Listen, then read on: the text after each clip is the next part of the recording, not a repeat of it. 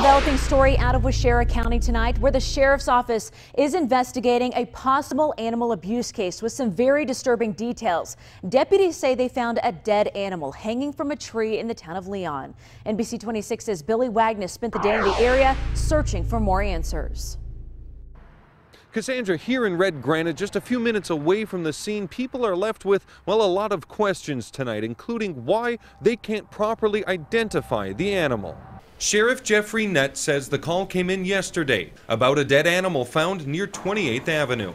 And it's here, north of Highway Q on DNR land, that the Sheriff's Department says a deputy found the animal hanging from a tree. The sheriff believes the animal was placed there within a 24 hour time frame of the discovery. We're less than six miles away. In nearby Red Granite, the discovery is the talk of the town. I live roughly a mile away from where this has happened. At the Granite Inn, owner Gary Vanderparen says he's disturbed by what he hears. If someone killed an animal and hung it in a tree, not in season, whether it's a hunter or a poacher or whatever, it's wrong. But more puzzling, Sheriff Nett says they can't ID the animal, telling us only that, quote, it's a fairly large animal. Well, if it was a canine, a dog of some sort, you can tell. If it was a deer or an elk, you can tell. If it's a bear, you can tell by the skull. It's a large animal. Let's tell the public what it is. Questions the Sheriff's Department will be working hard to answer.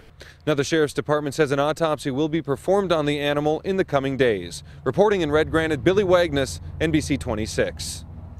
Now, if you have any information about this case, you're urged to call the Waushara County Sheriff's Office or Crime Stoppers.